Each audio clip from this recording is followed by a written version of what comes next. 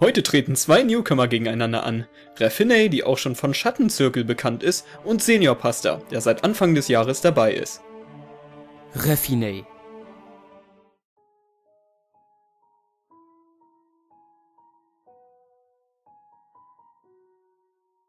Ein texanisches Pärchen plante einen Trip zum mexikanischen Grenzgebiet, um dort eine Shoppingtour zu machen. Da in letzter Minute der Babysitter abgesagt hatte, mussten sie ihren zweijährigen Sohn mitnehmen.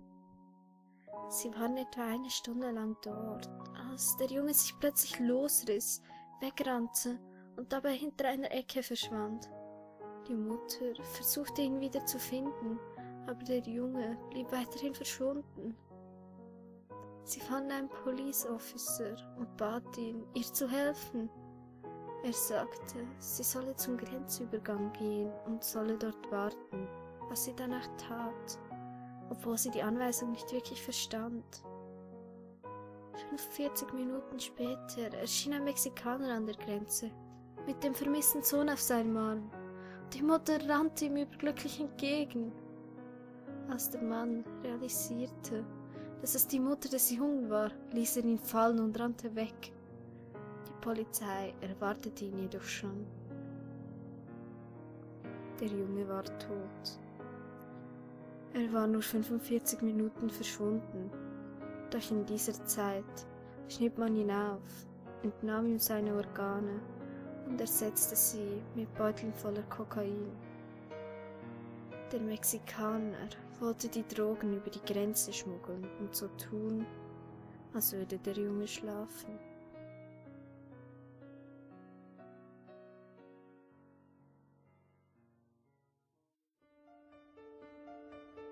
Senior Pasta.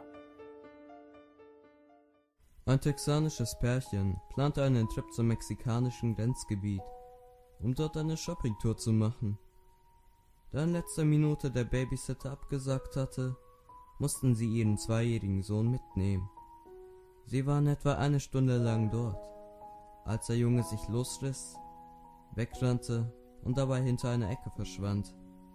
Die Mutter versuchte ihn wiederzufinden, aber der Junge blieb weiterhin verschwunden. Sie fand einen Police Officer und bat ihn, ihr zu helfen. Er sagte, sie solle zum Grenzübergang gehen und solle dort warten, was sie auch tat, obwohl sie die Anweisungen nicht wirklich verstand. 45 Minuten später erschien ein Mexikaner an der Grenze mit dem vermissten Jungen auf seinem Arm und die Mutter rannte ihm überglücklich entgegen. Als der Mann realisierte, dass es die Mutter des Jungen war, ließ er ihn fallen und rannte weg. Die Polizei erwartete ihn jedoch schon. Der Junge war tot. Er war nur 45 Minuten verschwunden. Doch in dieser Zeit schnitt man ihn auf, entnahm ihm seine Organe und ersetzte sie mit Beuteln voller Kokain. Der Mexikaner wollte die Drogen über die Grenze schmuggeln und so tun, als würde der Junge schlafen.